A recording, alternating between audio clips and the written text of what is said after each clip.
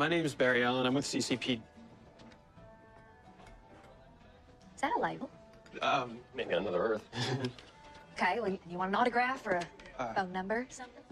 Uh, no, no, uh, nothing like that. Okay. Well, if it ain't business and it ain't pleasure, then we got nothing left to talk about now, do we? Oh. Do it again next week. thank you. Great work. Okay, I'm sorry. Let me explain. Um, someone very smart and very dangerous is coming after you. Me. Yeah. Okay, now, why in the name of God would anybody dangerous be coming after me? Because you have powers. Four months ago, you were on Central City Bus 405. That bus got showered with dark matter and made everyone on it a metahuman. Now the person responsible for doing that wants those powers for themselves. Okay, and let me guess, you boys are here to protect me. Something like that. Look, we, we can explain more later, but now we just need you to come with us, all right? Oh, that's not necessary. My daddy bailed, mama bailed not long after, and I've been looking out for myself my entire life.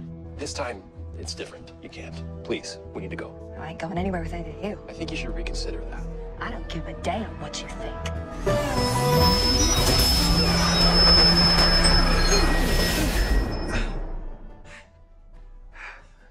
I guess now we know what her power is. What? What? Yeah! Yeah. You stay away from me!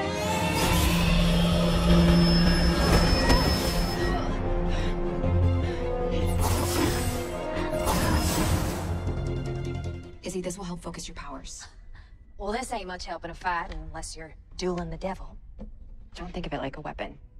Just do what you've always been dreaming to do. Make your own sound.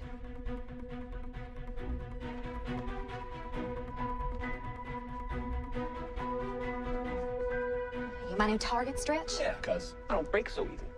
Please. You're built like a twig.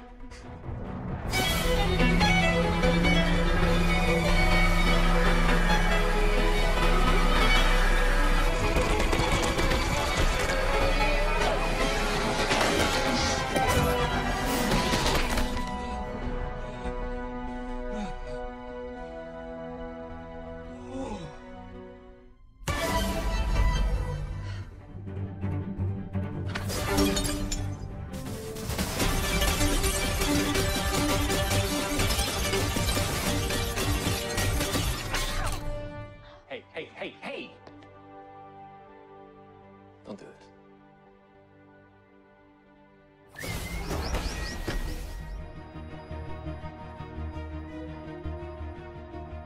Sorry, Ralphie. Bravo, Miss Bowen. Of all my subjects, you're the only one to mount a credible defense against me.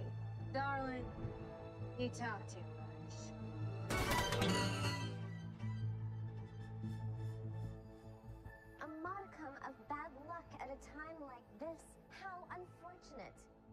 Quite the fiddler.